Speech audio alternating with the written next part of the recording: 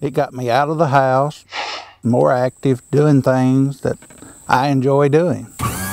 Mowing hay, raking hay, helping my dad take care of this farm. Farming It's just a way of life. has been a part of Michael Norrod's life. Since I was big enough to ride in my daddy's lap on a tractor.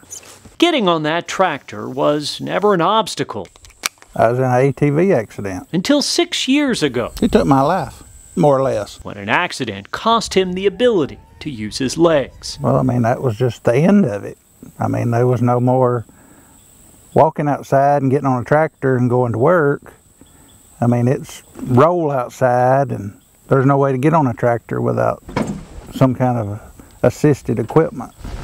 No way until Michael learned about this new type of assistive technology Everything's remote controlled. that lifts him from his wheelchair to his tractor or his truck.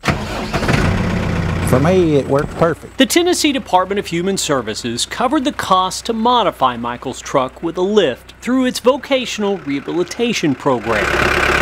And today, Vocational rehab helped make this possible. Michael is back in the driver's seat I can go, go outside and get in a vehicle and go to town. of life.